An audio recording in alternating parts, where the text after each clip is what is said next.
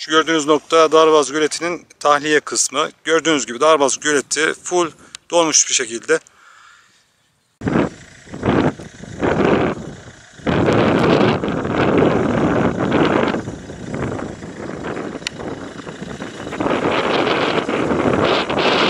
Az önce söyledim. E, gölete su ak- akımı devam ediyor.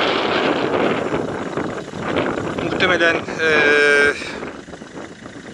yakın zaman içerisinde bu tahliye kısmından aşağı doğru akmaya başlayacaktır. Ama ben buna müsaade edileceğini sanmıyorum. Çünkü e,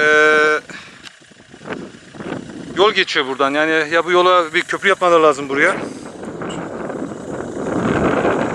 Yoksa hani buradan su akması pek uygun düşmez gibi geliyor bana.